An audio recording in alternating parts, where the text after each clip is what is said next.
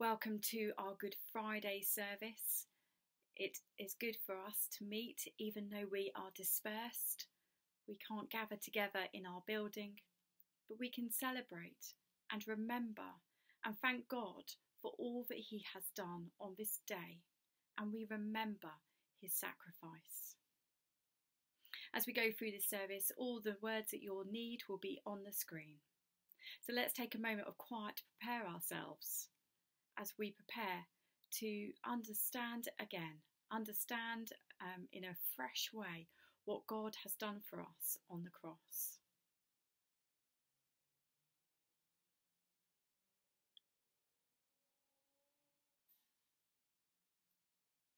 So, eternal God, in the cross of Jesus, we see the cost of our sin and the depth of your love. In humble hope and fear, may we place at his feet all that we have and all that we are through Jesus Christ our Lord. Amen. And so we're going to sing together how deep the Father's love for us.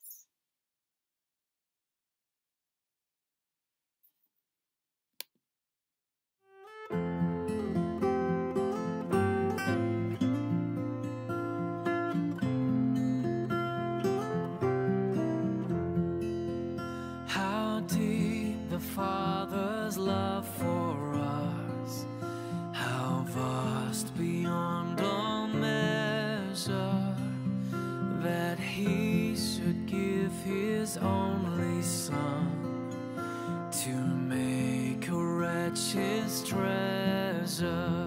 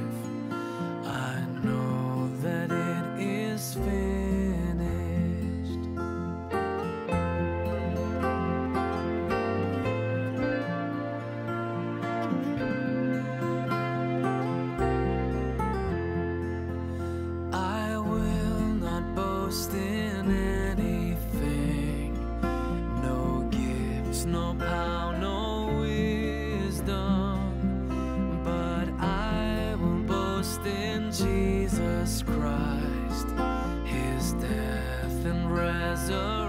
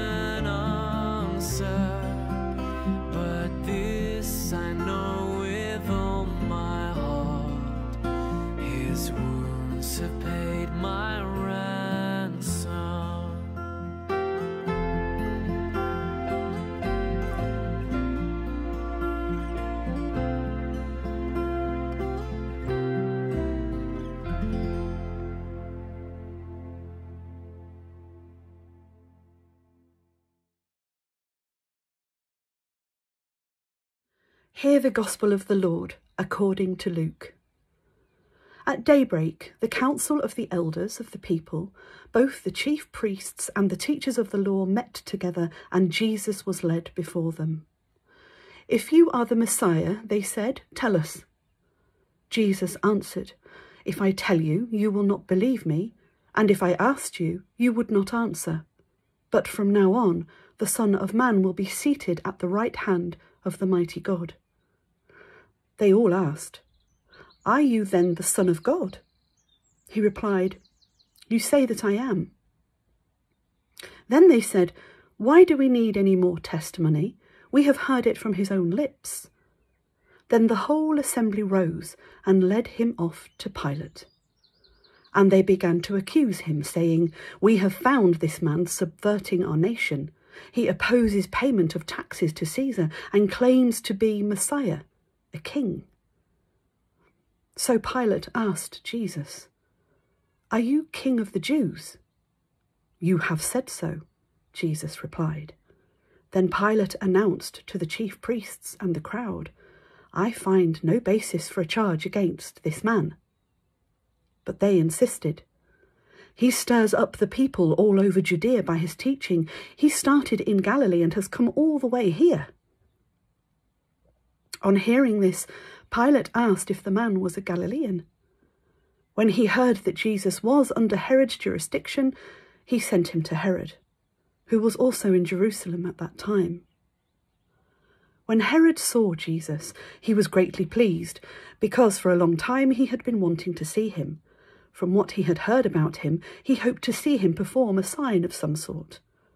He plied him with many questions, but Jesus gave him no answer.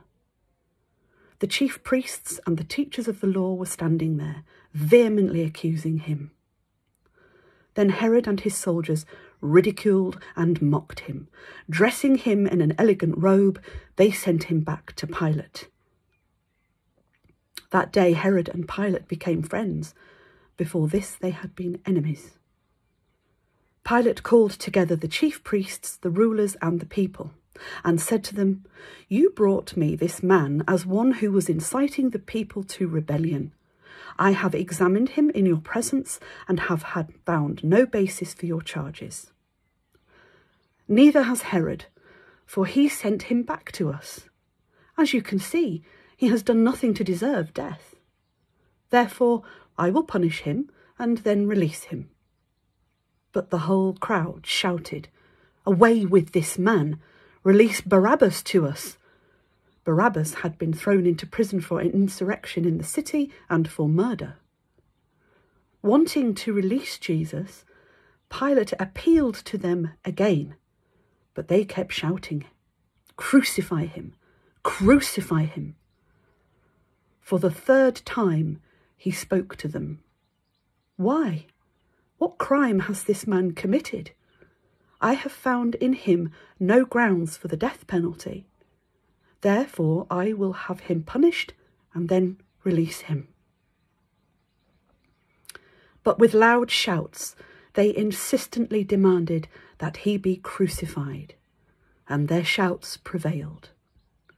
So Pilate decided to grant their demand he released the man who had been thrown into prison for insurrection and murder, the one they asked for, and surrendered Jesus to their will.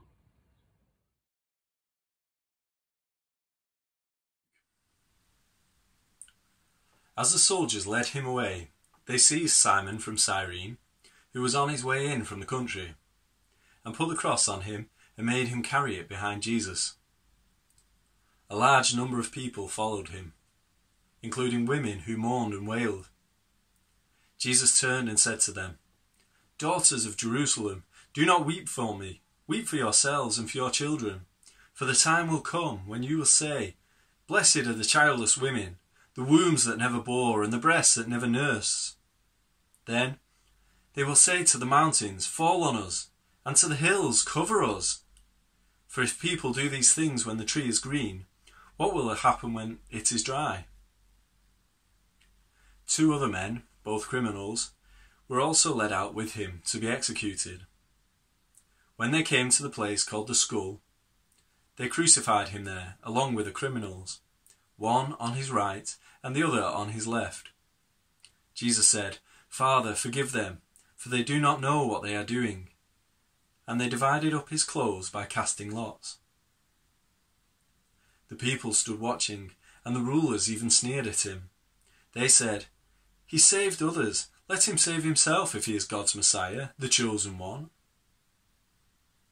The soldiers also came up and mocked him. They offered him wine vinegar and said, If you are king of the Jews, save yourself. There was a written notice above him, which read, This is the king of the Jews. One of the criminals who hung there hurled insults at him. Aren't you the Messiah? Save yourself, and us. But the other criminal rebuked him. Don't you fear God, he said, since you are under the same sentence. We are punished justly, for we are getting what our deeds deserve. But this man has done nothing wrong. Then he said, Jesus, remember me when you come into your kingdom. Jesus answered him, Truly I tell you, today you will be with me in paradise.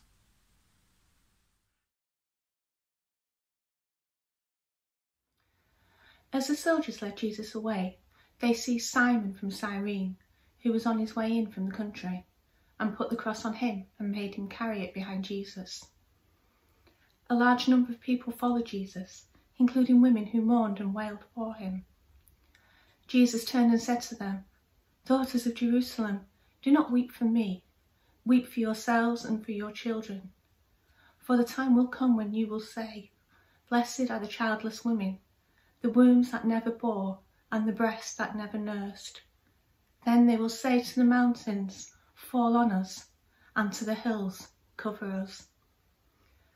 For if people do these things when the tree is green, what will happen when it is dry? Two other men, both criminals, were also led out with Jesus to be executed. When they came to the place called the skull, they crucified him there, along with the criminals, one on his right, the other on his left. Jesus said, Father, forgive them, for they do not know what they are doing. And then they divided up his clothes by casting lots. The people stood watching, and the rulers even sneered at him. They said, He saved others. Let him save himself if he is God's Messiah, the chosen one. The soldiers also came up and mocked him. They offered him wine vinegar and said, If you are the king of the Jews, save yourself. There was also a written notice above him which read, This is the king of the Jews. One of the criminals who hung there hurled insults at him. Aren't you the Messiah? Save yourself and us. But the other criminal rebuked him. Don't you fear God, he said since you are under the same sentence. We are punished justly, for we are getting what our deeds deserve. But this man, this man has done nothing wrong. Then he said, Jesus, remember me when you come into your kingdom.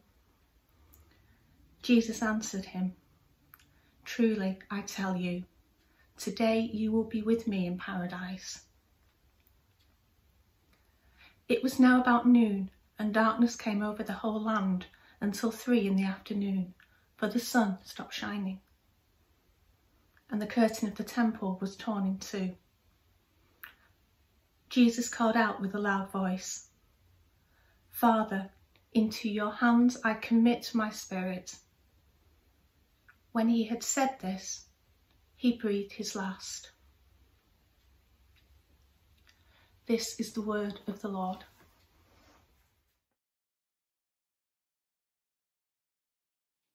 Having heard the narrative of the passion that Jesus went to for us, let's watch this video from the Miracle Maker about Jesus' death. And let us pray while we watch it, give our lives to Him, and thank Him for giving His life for us. thank you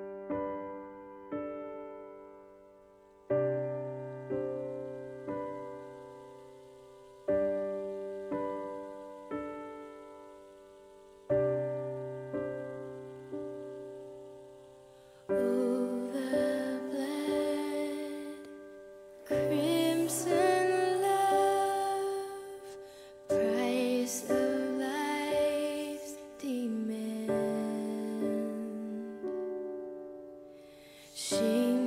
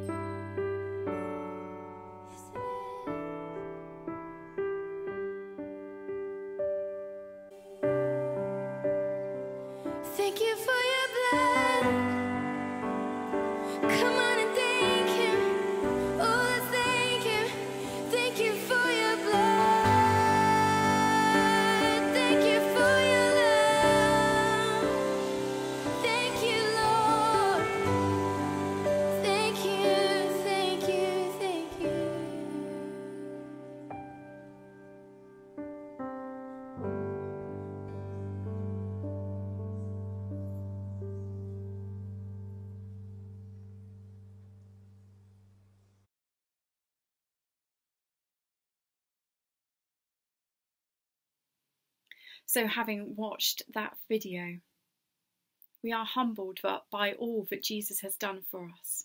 And so, let's turn to Him. Let's turn face onwards to Him and say we're sorry for those things that we have thought, said, and done, but turn our backs on Him.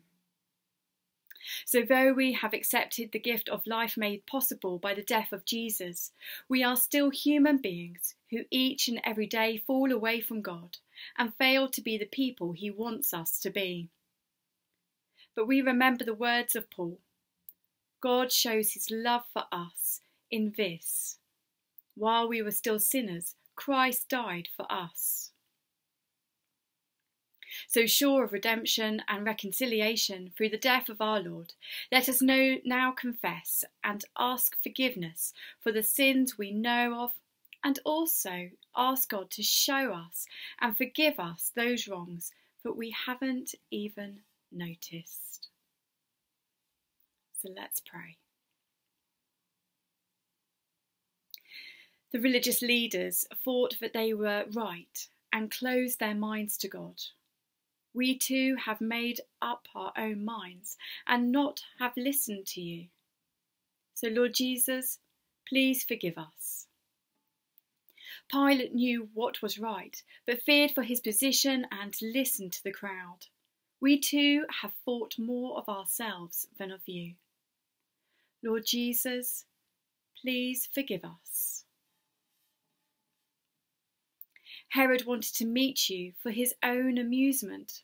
We too have not made you first in our lives. Lord Jesus, please forgive us. The crowd called, Crucify again and again. We too have often said things that must have hurt you. Lord Jesus, please forgive us.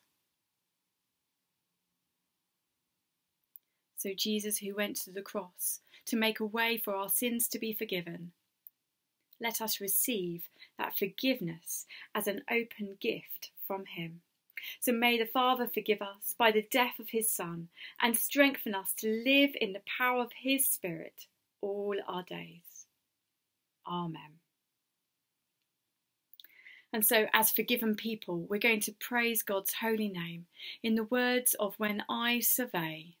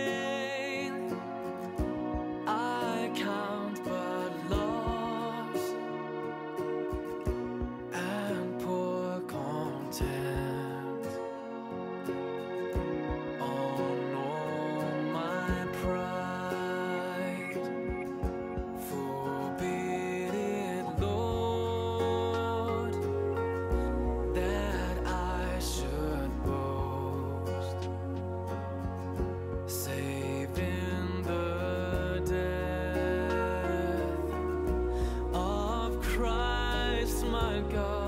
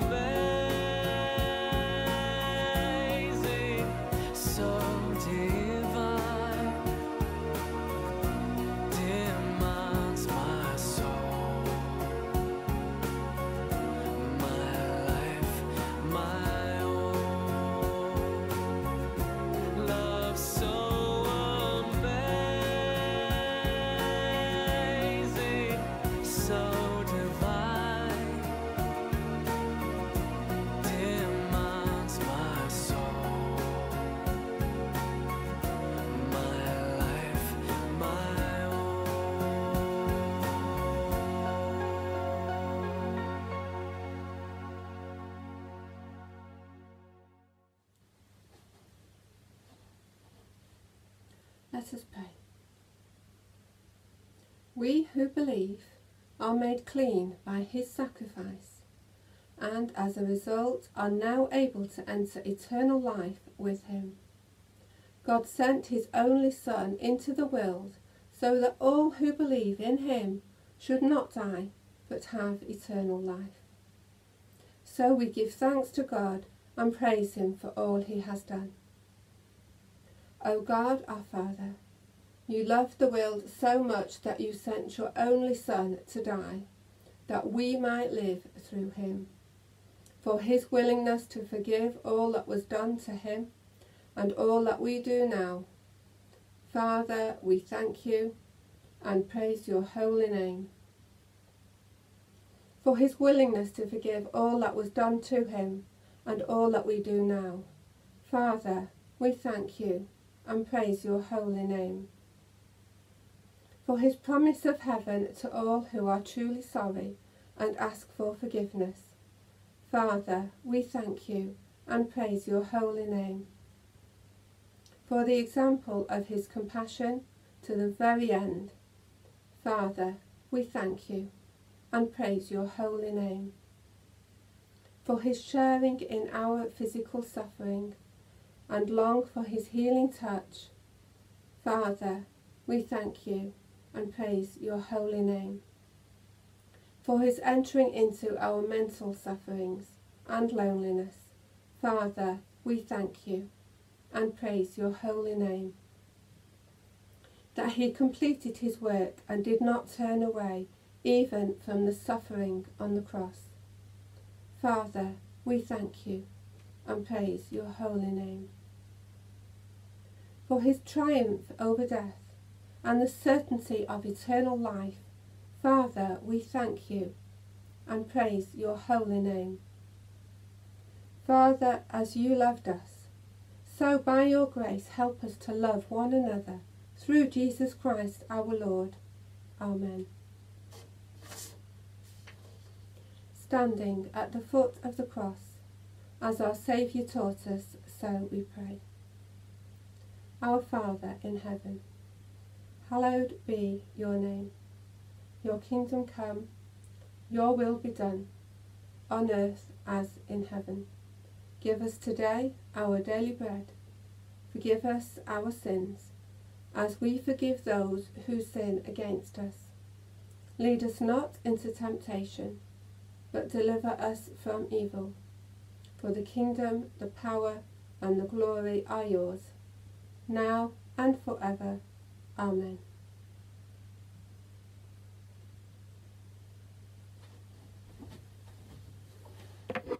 As our time together comes to an end, a final prayer and a blessing. You believe that by his dying, Christ destroyed death forever. You have been crucified with Christ and live by faith in the Son of God, who loves you and gave himself for you. May he send you out to glory in his cross, to live no longer for yourselves but for him, who died and was raised to life for us. And the blessing of God Almighty, Father, Son, and Holy Spirit be with you and those whom you love, now and always. Amen.